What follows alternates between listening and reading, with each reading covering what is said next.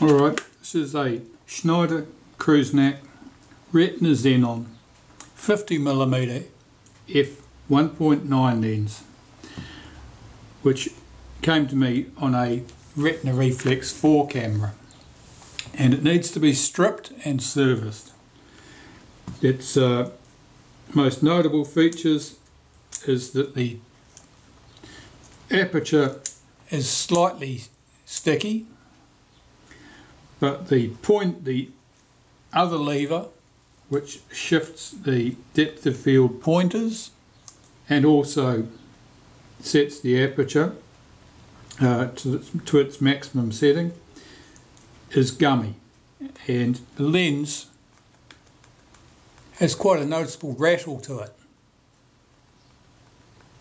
which tells me that things are not as they should be. So it needs to be stripped, cleaned, reassembled and then I can see what's going on inside it. So I start from the front. Alright, start by unscrewing the retainer here, that conical section, using a friction tool.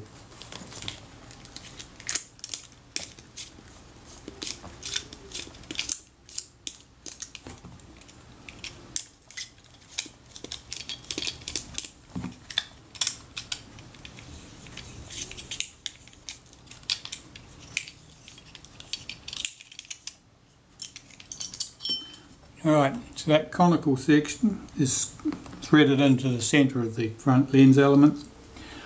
The hood or filter mount comes off and there we see three screws. Those three screws hold the lens capsule into the body of the lens and that's also where you make your adjustment for focus to get correct focus at infinity. So I can remove those three screws with their washers.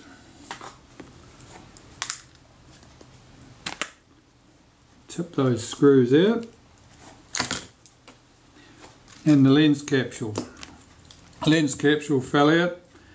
You can see here this is the where the lens actually focuses that's the helical. The lens moves in and out of the body of the lens at that point. That's not too stiff. I'll clean that grease and get rid of it. I'm checking the diaphragm action here. Now that's actually quite snappy. I'm looking at the blades and they show no oil contamination. Um, our problems with this particular lens lay elsewhere obviously. So starting here, let's move back into camera.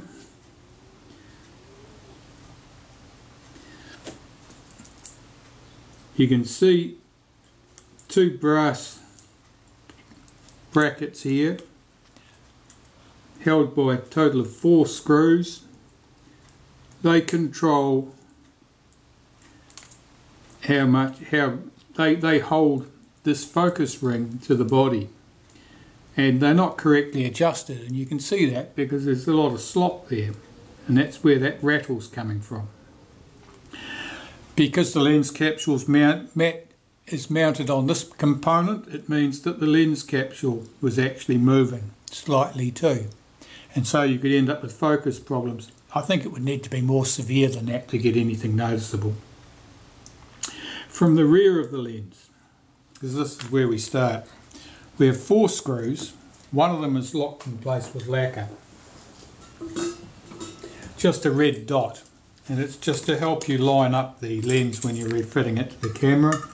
So I'll just put a, a dot of acetone on there to soften that, what looks like red paint to me, and remove those four screws.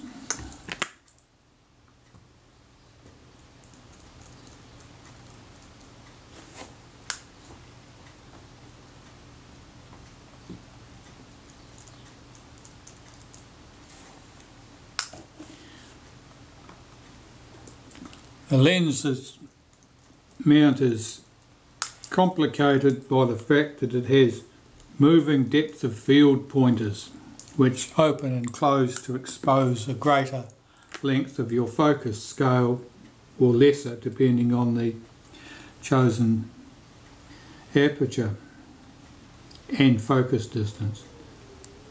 Right, I'm just looking at that. This is a later lens. Uh, it doesn't have the cam to suit the Retina 3S, which means it's simple. Simpler to deal with. And we can lift off the components in order.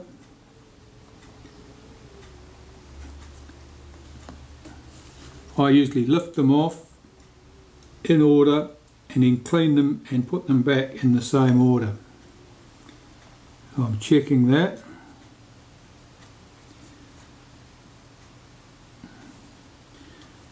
That was held, its return spring was the thin spring here.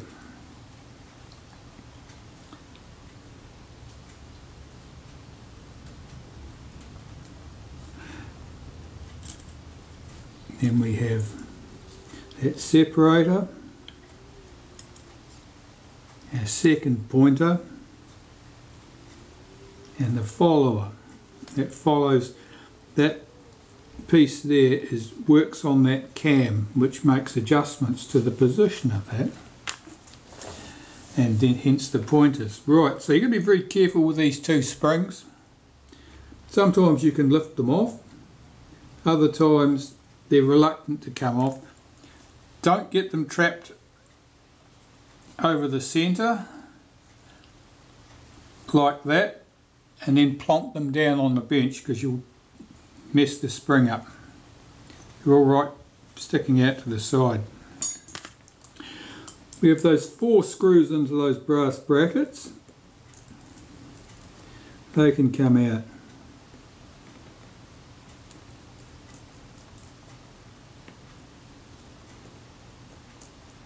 This is by no means the stickiest lens I've seen in some time. The grease is quite gooey, but uh, often it's much worse than that. All that old grease has to be cleaned off and appropriate lubricant put in its place in appropriate amounts. Alright, to take those off we can separate the two components. Now that was just stuck to it, it was gummy, it was stuck in there like it was glue. One of those springs has fallen off for me, that's useful. Here we have some plastic. Now I think that's probably Teflon or something very similar to Teflon. It's a very low friction material. It needs to be cleaned, it shouldn't have all that muck on it. It's held in place with this bracket here it has two screws holding it down. We need to lift that off. That piece of plastic, it's fairly important that you don't stretch it. Like a lot of soft things, it's easily stretched and it won't go back where it came from. So be careful about getting it off and be careful about cleaning it. This is just a very dirty oily mess under here. None of that should be there. We can take that off. That is our lens mount disassembled. All these components need to be cleaned now. I'm going to use cigarette lighter fluid, Ronsonol or venti or whatever you get your hands on really it's just naphtha um, it's very convenient in a container that size and unless you're doing vast numbers of camera repairs it's not an uneconomic way to buy it if you start using bucket loads of the stuff there are cheaper ways to buy naphtha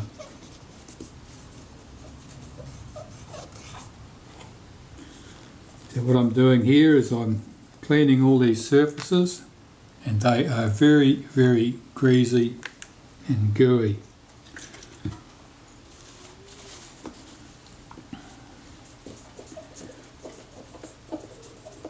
I want this all nice clean shiny anodised aluminium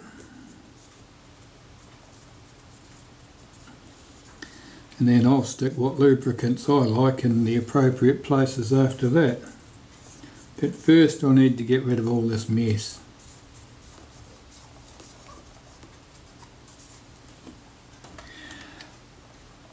Components like this, you can't just fling them into the uh, ultrasonic cleaner because it would remove paint from things like that little arrowhead dot and then you'd have all the tedium of putting that back. Right, that seems pretty good. And the cotton buds are coming off relatively cleanly, so that means that I've been fairly successful in getting the filth off. Let's have a go at this piece of plastic. So I'll wipe the top surface. This is very sticky.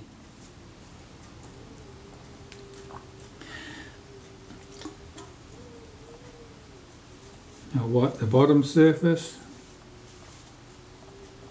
flip it over, wipe the top surface again,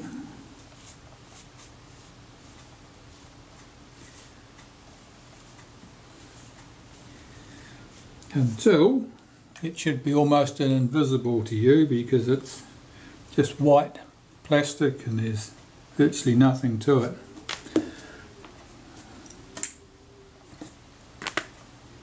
this piece. Might as well start with a partly used cotton bud, get rid of the vast bulk of that scunge.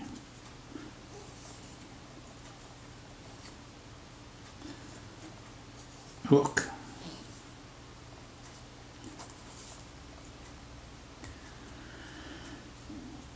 Given the amount of grease in this, I suspect that somebody has made it their business to lubricate it at some stage in the past. There seems to be two colours of grease in here. Um, a charcoal grey, probably graphite based grease, and something much lighter, a yellowish grease. So I dare say it means that someone has had a go at lubricating this, probably because they felt it was stiffer than it should be. And they didn't bother removing whatever lubricant was there first, they just added to it. However, I could be wrong. It's been known to happen. Okay, let's see what we can do with these.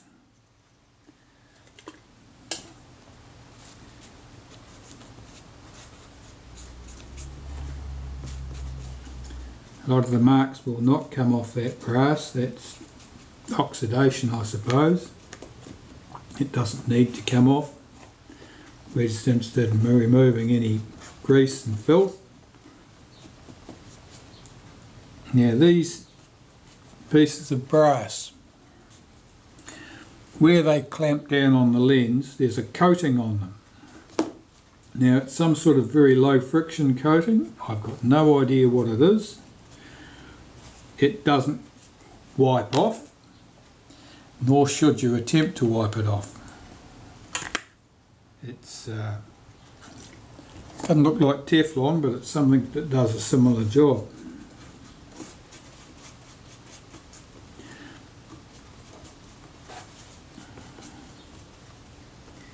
So I'm getting rid of all the old grease and the dirt and the dust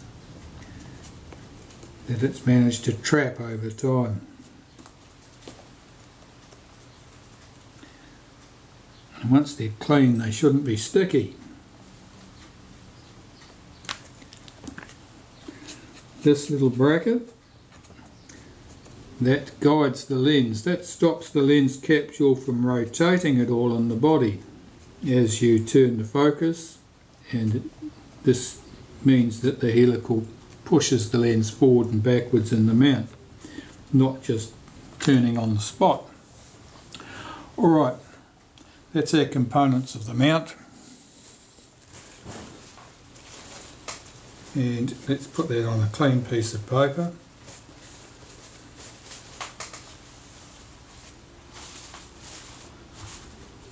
And see about reassembling this.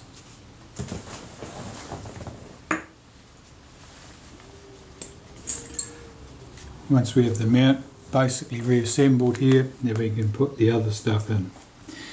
Alright, so this is the face we're interested in. Here's our piece of plastic and it goes on only one way. It goes right there.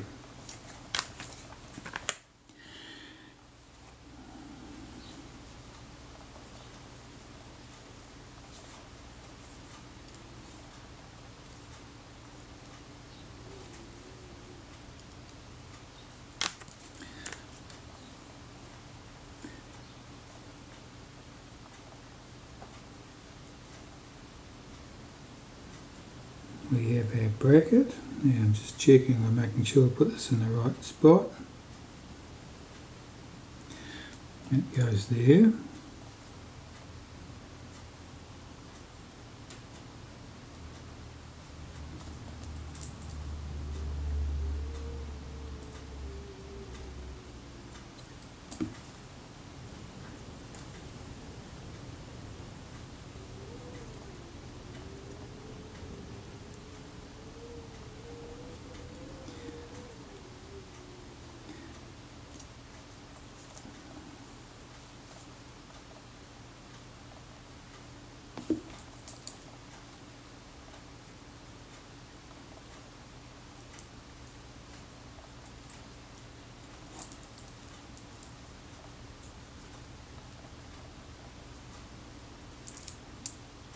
Just taking those screws slightly. I'm just going to rotate that piece of plastic a little bit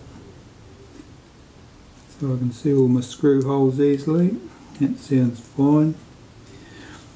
These screws are slightly countersunk, which basically means they'll find their way home and pull that bracket into correct alignment. I'll just check that that's where I wanted it to be things are centered and that I put the bracket in the right way round and I did. That's good. This piece, this can go back. Check that the arrow pointer here falls somewhere on the focus scale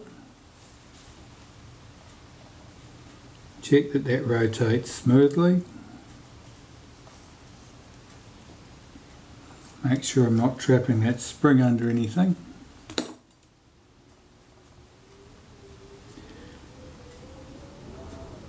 Pop the brass brackets back in place.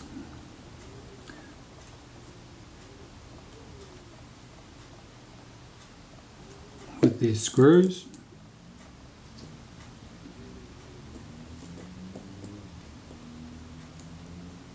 Do them up very lightly.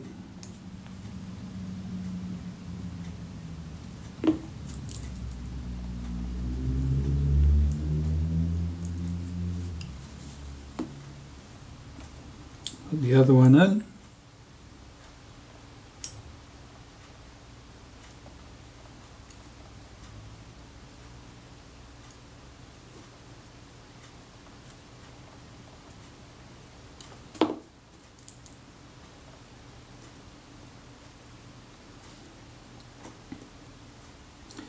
There's a trace of lacquer about the heads of those screws, which will be from when it was first assembled. There would have been a trace of lacquer put on them to stop them coming loose.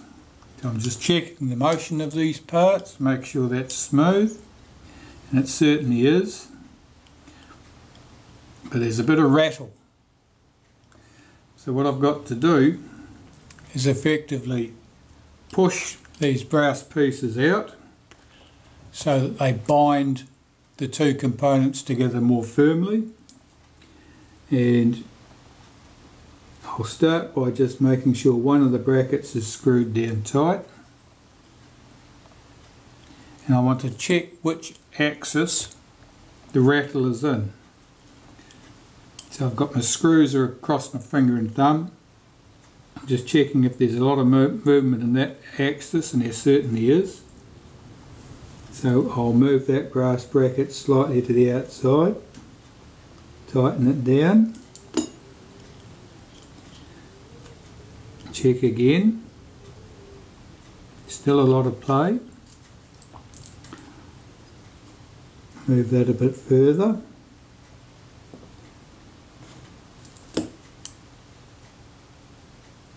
No, play there. Move it around 90 degrees and try the other position. Very slight play there. I'm looking at my brackets, see if they're evenly positioned. They weren't really. Make sure they're tightened down. very slightest amount of movement there. That out a bit further. That's good. Go back to the first ones I did. That's good. So I've taken the play out of that, but that action is smooth. That's good. So that part of the mount is all good. turn my attention to cleaning the various rings and popping them back into position.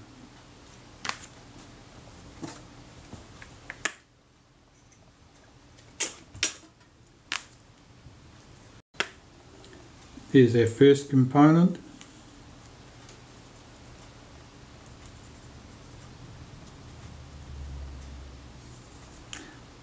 and I'm making sure I get rid of all the oil and grease that's on this component. It should be effectively dry. When you've got broad flat surfaces, any oil tends to stick things together like glue, create a large amount of drag, suction, and uh, we want all that off. So that's good. I'll get a tiny amount of molybdenum, run it in that track.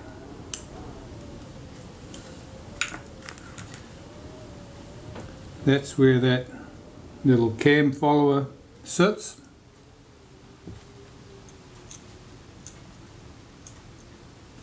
It drops down into place. That's nice and smooth.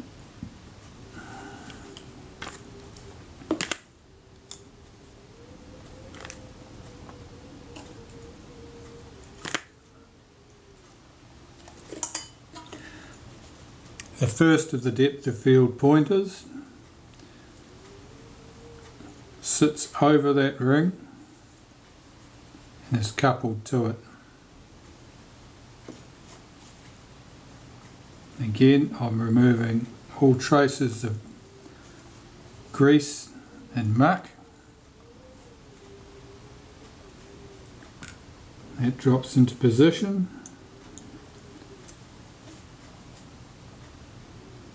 that slot falls over that pin on that bracket right there.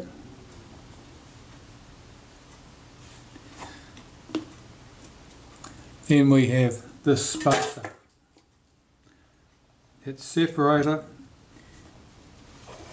keeps the two pointers apart from each other. It has a groove around the outside circumference in which those springs run. It's symmetrical and it drops into that groove there in the housing.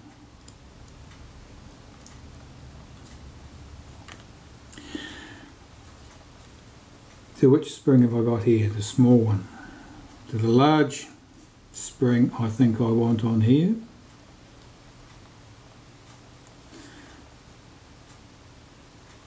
That should couple right there The next piece is our other pointer and it's much the same deal. Remove anything that looks like grease or oil or contamination. Not required. This pops down into position. Now, the two pointers are linked by the gears here so that they counter rotate. When one rotates towards the centre, the other one swings back towards the centre too. Now I've got to get this spring into position and I've got some gunk on my tweezers. I need to get rid of that. Let's see if I can get this spring hooked up correctly. It um, went surprisingly easily. That's suspect. Alright, those components are in. I need to do this component next. Oh, it's time to change a battery. Back in a minute. Alright, back with a fresh battery. Pick up where we left off. This component that couples to the camera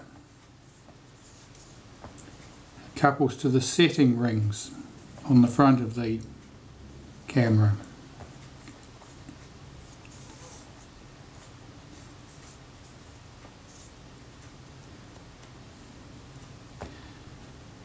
Sometimes these tabs can be bent and that's because the lens has been ill treated um, in which case things don't run as smoothly as they might.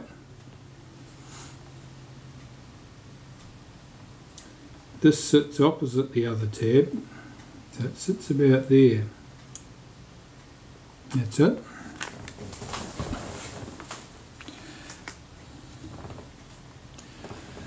We have the rear this is the lens mount actually. This is what goes on next. I'm just giving that a clean too on a lot of lenses this will also contain the cam for coupling to the rangefinder on a Retina 3S camera. But in our case this is a later lens and it doesn't. Looking at the serial number 9238628. I'm told anything after 8 million lapped that cam. I'll show you what the cam looked like on the back of this lens. This is an earlier lens. And with these mounts it rotated into the same orientation, you can see this one has the coupling cam to suit the Retina 3S. This one does not. Back to where we were. Alright, everything's good. Everything's in place. The pointers look like they're in place. A little fleck of something there. What's that? Don't want that alright there's a little hole here that fits over a locating pin over here I'm just about to put this in position drop it over that locating pin and check that the levers swing smoothly. They do. I'm looking at my depth of field pointers. Where are we? Over here.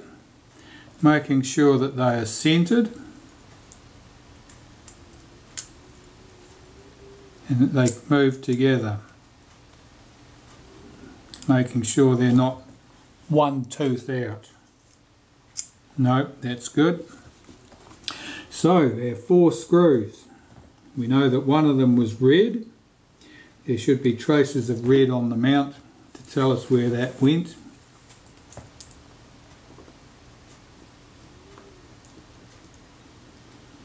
The other three were not. There's a trace of red there, so that's where the red one went. We'll put him back.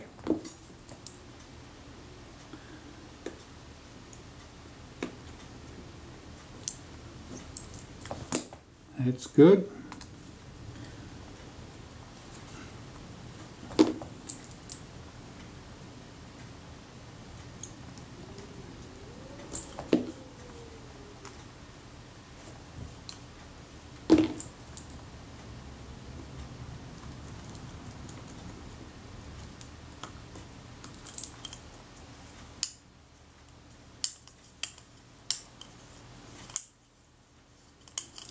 Checking the feel of that lens.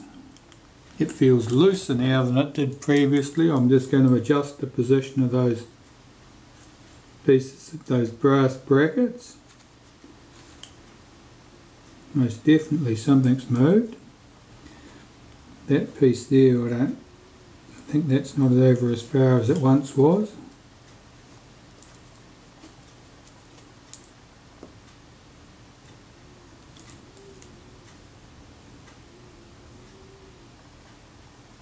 That's much snug. I think that's too far, too much. Let's just take that back a bit. It's okay. What's it like in the other plane? It's pretty good.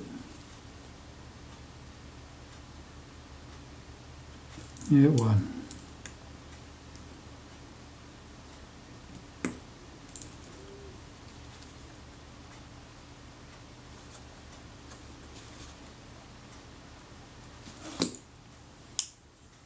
Feels good. Now I'm just going to apply a little bit of molybdenum to the aluminium edge where those pieces will run just to make sure that there's no galling.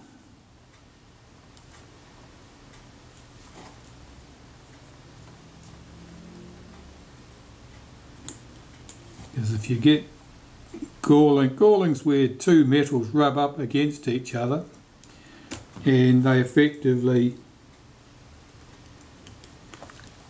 push a piece of metal up. They call, cause the metal to ball up so that uh, you end up with a high spot which rubs even further and causes more problems. Some metals are particularly prone to galling, stainless steels, aluminiums,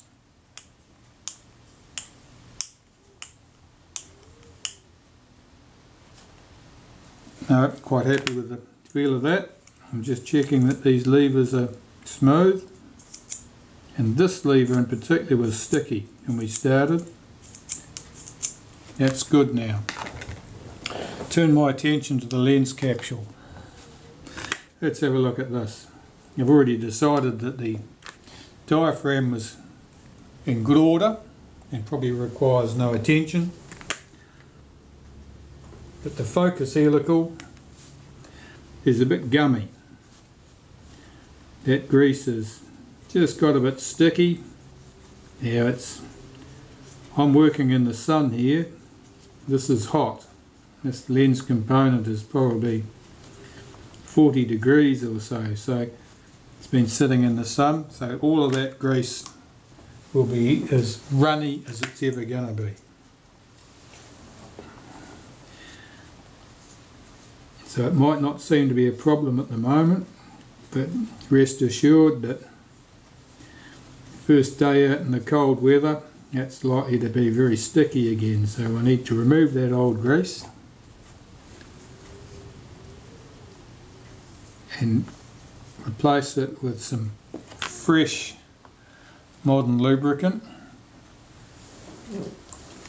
One that doesn't change its viscosity at the drop of a hat.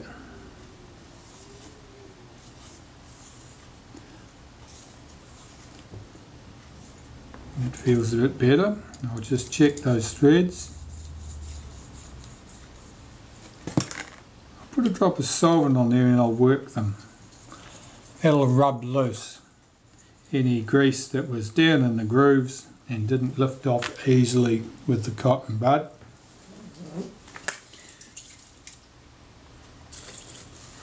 Notice that I didn't take a great deal of notice of the start position of those multi-start threads and that's because we'll be adjusting the focus ourselves so I don't have to take note of exactly where things were relative to each other. Though if I'd marked it carefully I could have just reassembled it into exactly the same thread position and reasonably expect the focus to be exactly identical to as, as to what it was before. It's a bit better, still not quite as clean as I would like. You can tell when the threads are really clean because they feel dry and uh, dare I say it gritty with no lubricant on them. And if you haven't got them that clean it means you still have some lubricant on there.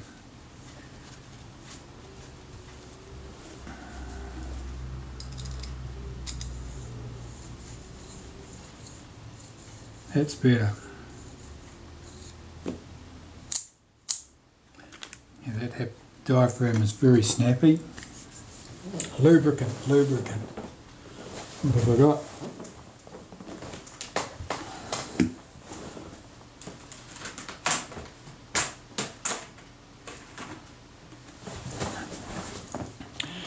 Helimax, XP made for helical threads. This will work nicely. You don't need buckets of it.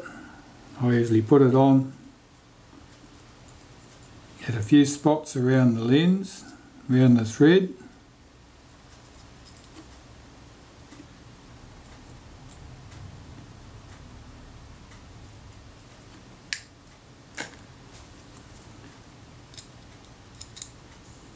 run the ring on and work it backwards and forwards a few times. That'll spread that lubricant out. Oh, ran right off the back there.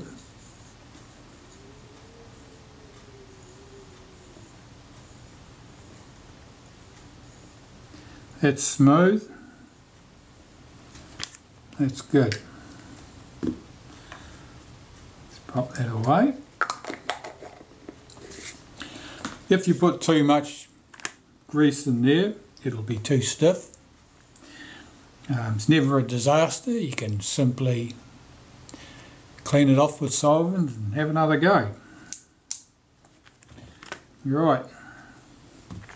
Now getting this back into its mount is always a bit of a challenge. However, as with most things in life, there are tricks. So first I want to remove that rear grip. I'll find the right tool. Let's just swing this around out of the sun. It's better. I'll shift my position accordingly.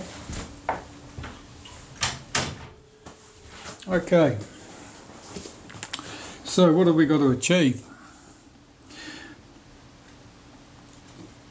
There's a fork here that works that aperture, the diaphragm that has to line up with this piece here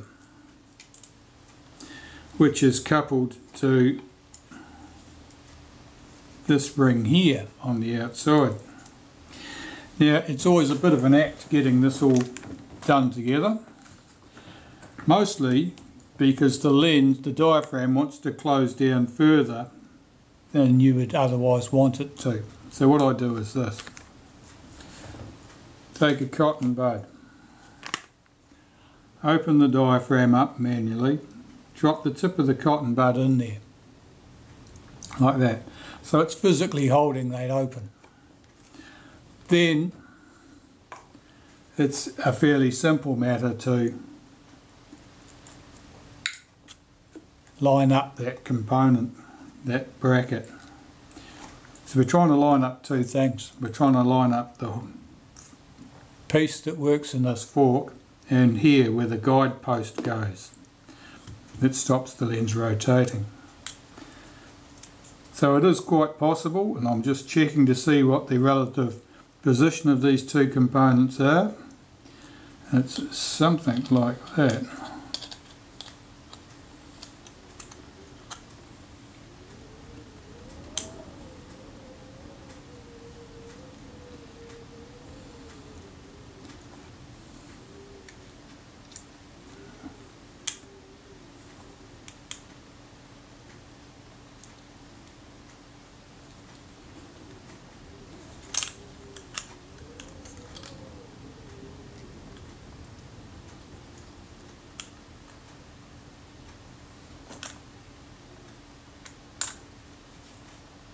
That's it.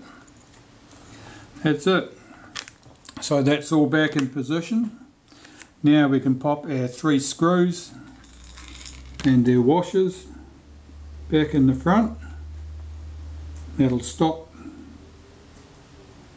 the lens falling apart and then after that we can set the focus once I've put the rear group back in of course. That's most important. What's the time? Oh, I've got plenty of time. Got to keep an eye on the time. Can't afford to be working overtime.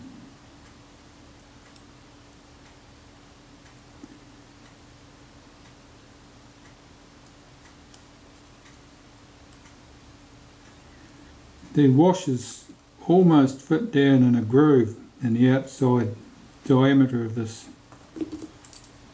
mount sometimes it's hard to get them seated.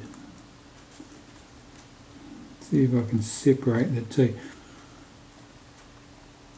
That's better. Get my washer down in position first, then pop the screw in.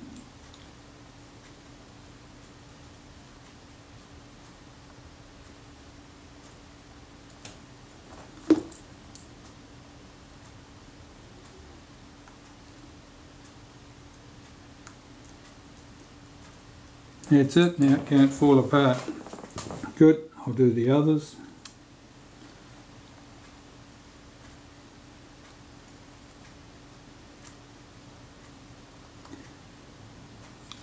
Get the washer in place. Get the screw in place.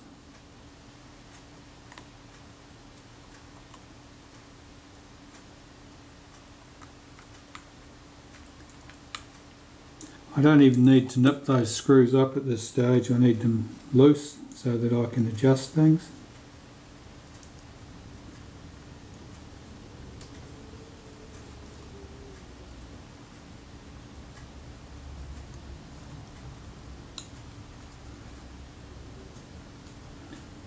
Had the diaphragm shown any signs of oil contamination, I would have removed the front group as well and with the front group removed I would have cleaned as I was saying before I ran out of camera space or card space if the diaphragm had been oily I would have removed the front and rear elements of the lens and swabbed the blades clean. I rarely dismantle the diaphragms in these particular lenses because it's they are double blades. Each blade is two pieces. And they are very very awkward to get back together. And comparatively delicate too. They can be easily damaged. So I generally do not.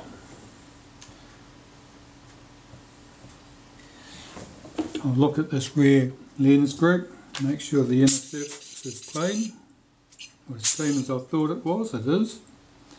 And that can be screwed back in.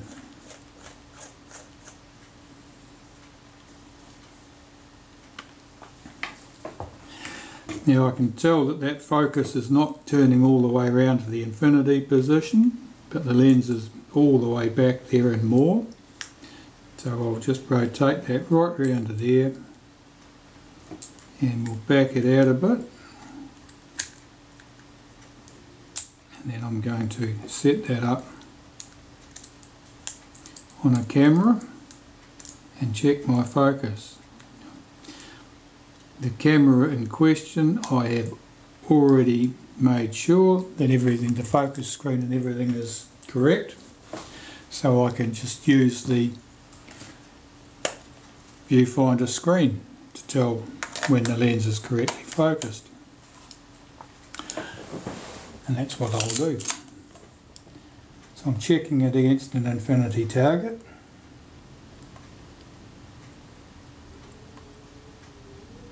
and whether by luck or design that's absolutely spot on.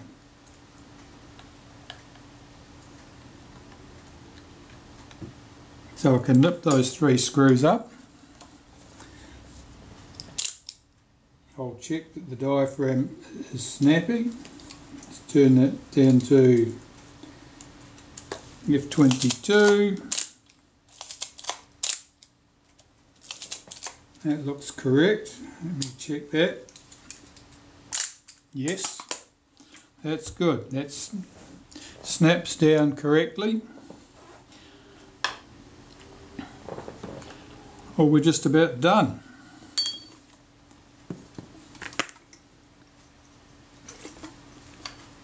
Filter mount section, I'll just run around that with a cotton bud, lift off any dirt. That's good. Often these are bashed in, this one's in great, great condition. It's got a little tab on it which locks it in position, it can only go in one place. And the conical section in the centre screws in place and locks this all together. Just get that thread started.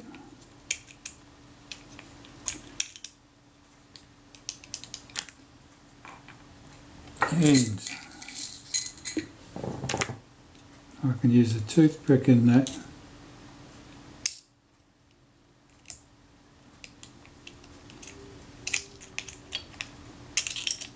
It just doesn't want to start, I'm not sure why.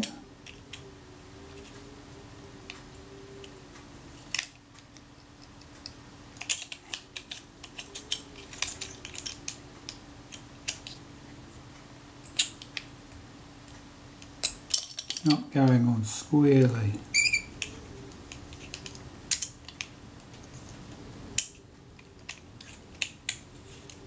Once we pick up the start of the thread it'll be okay.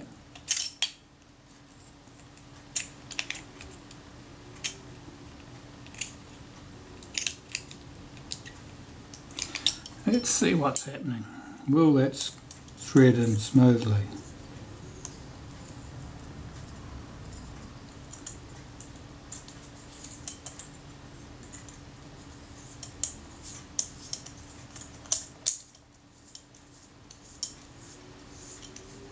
Yes, it does. Let's rack that right to a close focus position to bring that lens well clear of the body.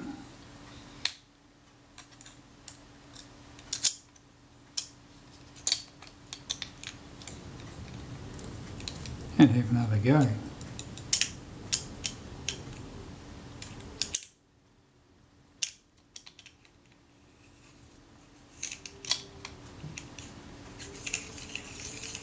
That's it. Just got to hold your mouth right. Alright, a friction tool. A kingdom for a friction tool. Here we go.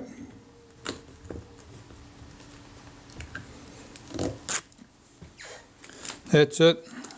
That's done. That's happy. And that is how you take a lens like that apart. Focus is nice and smooth now. The aperture pointers are uh, very, very smooth. That's great. Thanks for watching.